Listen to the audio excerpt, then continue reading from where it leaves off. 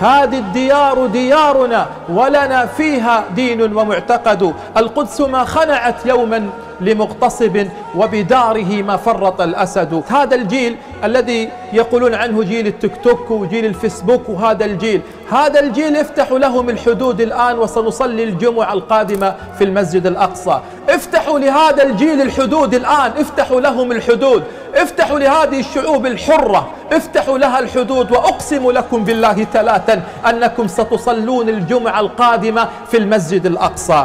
اليوم وقفت غزة لتجمع بين آيتين عظيمتين. بين آية كتب عليكم الصيام وبين آية كتب عليكم القتال. غزة اليوم وقفت لتجمع بين جهاد النفس وجهاد العدو. غزة والقدس وقفت اليوم لتجمع بين محراب رمضان وبين بندقية الجهاد. غزة التي وقفت لتنوب عن 2 مليار مسلم ولتدفع صدقة الفطر بجهادها وتدفع زكاة الرد عن مليار ونصف مسلم. غزة التي خلال يومين جعلت أربعة مليون صهيوني تحت الأرض.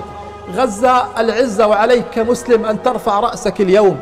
غزة التي في خلال يومين أوقفت وأغلقت غلاف غزة كله وأغلقت شواطئ عسقلان وزكيم.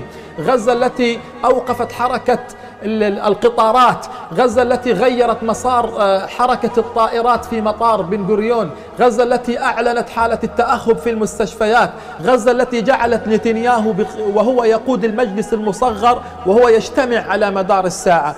كل هذا صنعته غزة. غزة اليوم وقفت لتدافع عن كرامة هذه الأمة. لسان حالها إن ألف قذيفة إن ألف قذيفة من كلام لا تساوي قذيفة واحدة من حديد.